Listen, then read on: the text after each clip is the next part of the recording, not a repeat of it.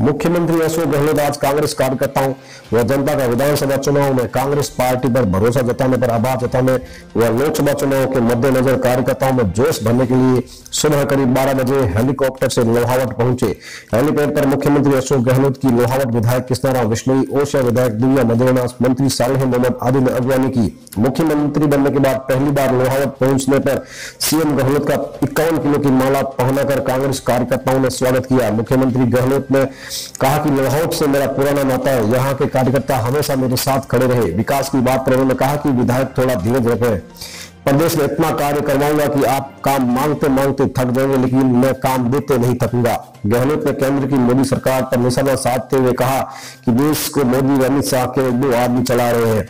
उन्होंने surgical strike पर बोलते हुए कहा कि भाजपा इस पर राजनीति कर रही है, जो अनुचित है।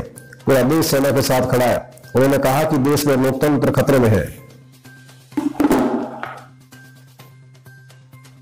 जी को महेंद्र जी को सबको मैं विश्वास दिलाता हूँ आप काम मांग कर हमें थक जाओगे, मैं देते देते नहीं थकूँगा, ऐसा कह सकते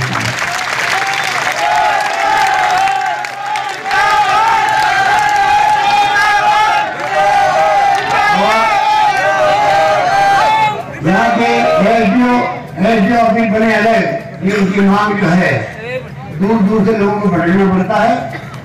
प्रक्रिया होती है। प्रक्रिया में जाके बात करूँगा इंटरव्यू करूँगा।